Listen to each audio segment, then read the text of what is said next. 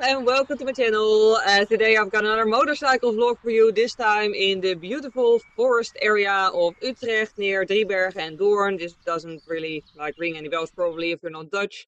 Just know that the Netherlands is quite a small country and Utrecht is pretty much in the middle.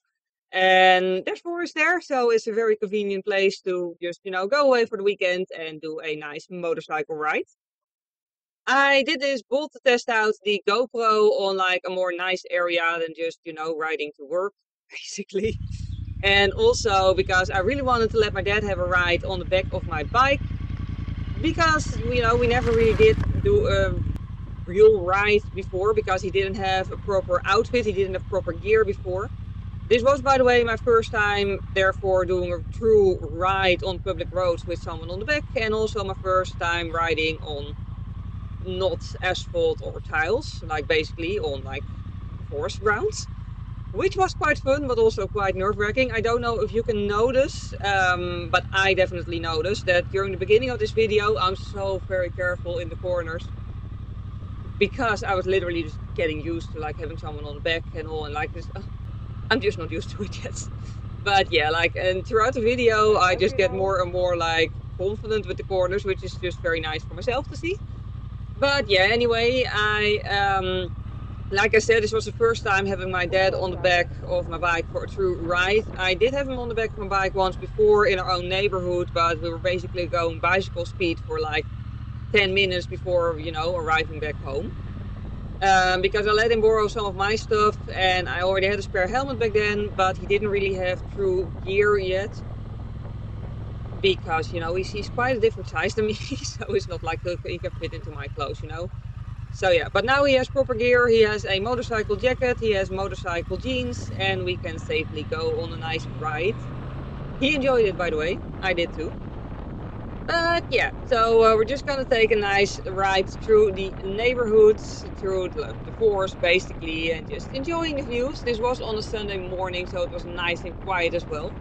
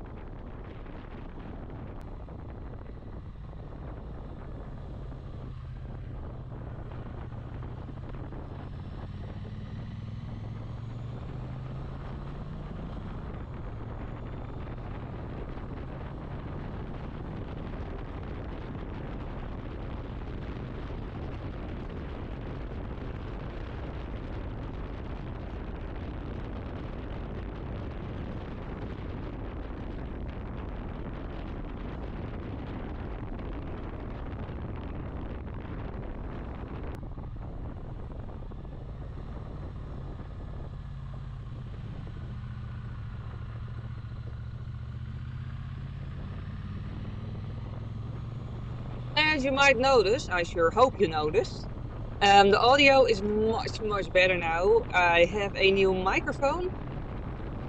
Yeah, you know that feeling when you like buy something and it leads to like more stuff that you have to buy and like your bank account's crying. Basically, I'm at that point right now. Um, as you know, if you've watched more of my videos and are watching this video, you'll know that I bought a GoPro because obviously, well, you know, you could tell this is filmed with an action camera.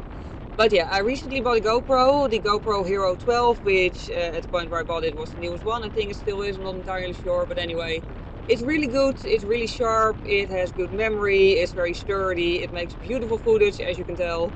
Uh, but the footage is also pretty freaking heavy and my old laptop turned out to not be able to handle that anymore. It was a gaming laptop, but it was always a, an adequate gaming laptop and never a very good, extremely high-end gaming laptop. Um, but also it was four and a half years old by now. It just couldn't handle it anymore basically when I tried to play it.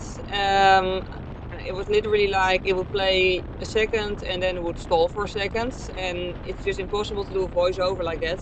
Like now I'm just, you know, chatting about anything because this is not really something to like I don't really have like a lot of things to point out other than look, it's Dutch nature. Um, but like if I want to like show you stuff and show you like nice like views of like areas that I want to tell you stuff about, then it's nicer if I can actually see what I'm talking about while I'm doing the voiceover. Mm, and for that my laptop does need to play the footage smoothly because otherwise the timing is just way, way off. So yeah, my old laptop couldn't do that anymore, so I bought a new laptop and let me tell you, the difference is amazing. Like seriously, when I play Resident Evil 4 Remake now, I can literally like it's so so good. Quality is so good. It's so sharp that I can literally basically count the arm hairs on Leon, which is an old thing to like you know use as an example probably. But anyway, I like it. Um, so yeah, that's the thing.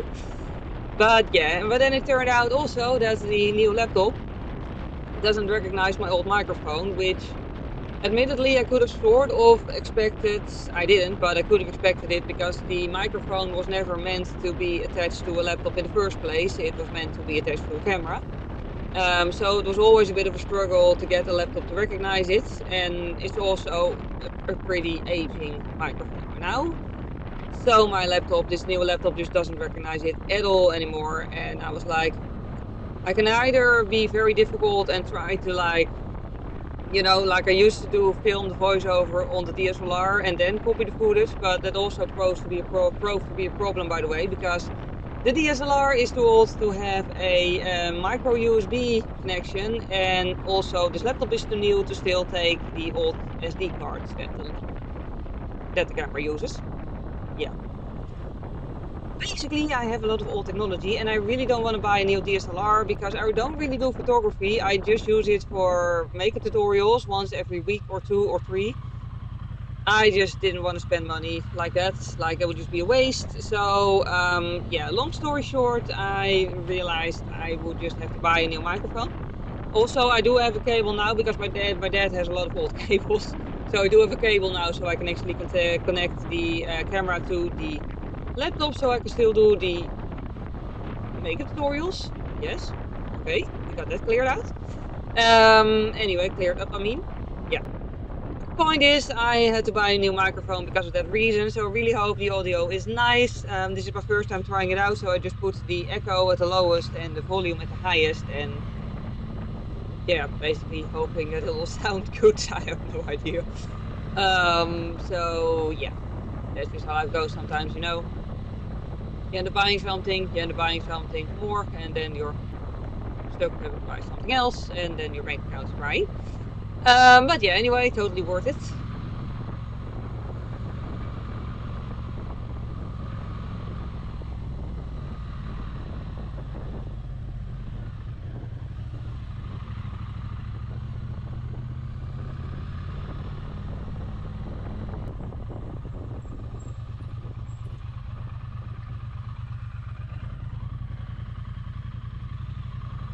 And here we're like in the middle of a neighborhood again. And let me tell you, that's one thing they don't tell you about motorcycles. Or maybe they do. I don't know. Nobody told me at least. Sometimes traffic lights just don't see you. they don't notice you. This one didn't notice me, and I cut out all the waiting time. But like literally, I had my dad get off the bike and press the button for the for the uh, bicycles because it just it just ignored, ignored me basically. And then on the next traffic light, I was literally standing there for like pretty much a full minute before a car pulled up behind me and the car triggered the traffic light, so it finally went green. Seriously, like, uh, you don't really have that in big cities, but apparently you do have it here. On the bright side, there was no camera, so I could have just crossed the red light when there was no one there. But I'm, I'm, I'm polite to, like, I don't want to, I just want the light to turn green. Um, so, yeah. Like I said, I cut out all the waiting time because that would be kind of boring. Um, but yeah, anyway, and also if you're also a new rider like me, um, I can't really give you a lot of advice on riding with another person on your bike because this was literally my first true ride with another person on the back of a bike. But as a beginner, I can tell you the most important thing is to just ride like you would at your riding test, basically. Just ride very safely, obviously, but also ride gently. Don't pull up too fast, don't brake too fast. You'll notice it immediately if you do because it will be very uncomfortable for the person on the back. Um, and if you brake too fast, they're going to slam against your back, which you're going to immediately feel because it's really just not comfortable, like I said. So, yeah, just try to prevent that. And also make sure you really anticipate, like here at a roundabout, make sure that you really anticipate so you only have to slow down and don't have to make a full stop. There's also a reason why it's a good idea to do it on like a Sunday morning when it's very quiet, so you only literally encounter at most one single car at the roundabout and not a whole row of cars. So you can anticipate and just plan it in a way that you won't have to hit the brakes. Seriously, this was a dick move from the car um, on the, the white car that just passed me by. I was stopped to go to the left, and if I were a car, he would have just had to stop behind me. And literally, he should have stopped behind me, but instead, he put two of his wheels in the uh, grass to get past me. Big move. But anyway, let's ignore that and focus on like the nice scenery and the cows and the grass and the trees. Um, but yeah, anyway. But yeah, that's what I love about a bike, by the way. You can just take such nice rides. Like you can take rides with the car, but I always feel like I'm less immersed in the like area around me in the landscape when I'm with the car. Whereas with the bike, you really feel like you're a part of it. You're really riding through it. You're focused on the moment. You're focused on the road because a car, a car is in a way easier. And a bike, you just need to keep focus on the bike. Like you need to actually be aware of everything. And it's just uh, it's so relaxing in a way because you need to focus. It sounds sort of weird but i guess if you also ride a motorcycle you know what i mean. It's relaxing because you have to stay focused. You have to stay focused on the moment. You have to stay focused on what you're doing and in that way it's so freaking relaxing. Um, but yeah anyway i really enjoyed this ride. My dad also really enjoyed this ride. I hope you enjoyed watching this ride. Um, and i'm also planning on taking more rides to Utrecht and other areas of the Netherlands this summer and taking the GoPro along and taking therefore you guys along. I'm also planning on in October hopefully to go to the Black Forest in Germany with the bike. That's going to be my longest trip thus far because the training in Germany for like you know hairpin corners that I did that was at basically near the Mosel which is about five hours away from home and the part of the Black Forest that I want to go to is seven or eight hours, not sure, but about seven or eight hours away from my home. So it's going to be the first away that I've ever been with a bike. And also it's going to be the longest trip that I've ever done on the bike, so that's going to be a nice challenge overall. Um, but yeah, I'm really looking forward to it. It's, it's, it's, going to be fun. It's also going to lead to more costs, by the way, because I'm also going to end up having to buy um, bags because I don't want to just I, I can't go away for a week with just one bag, okay? I can't pack that lightly. So yeah, I do want to buy saddlebags or like the side bags, but I'll film it once I get those. Um, so yeah, but anyway, if you don't want to miss that, you can always subscribe to my channel if you'd like. I do uh, moto vlogs, I also do some regular vlogs sometimes. I also do makeup tutorials, gaming videos and whatever else I feel like filming. So yeah, if you enjoyed this video, please click the like button. It would really help me out because it makes YouTube suggest my videos more often to new people. And for now, as always, I hope you enjoyed watching this video. Thank you very much for watching. I hope you have a wonderful day and I hope to see you next time. Bye! Even een beetje zout. Zo. Dat is wel leuk. hè? Mooi hè?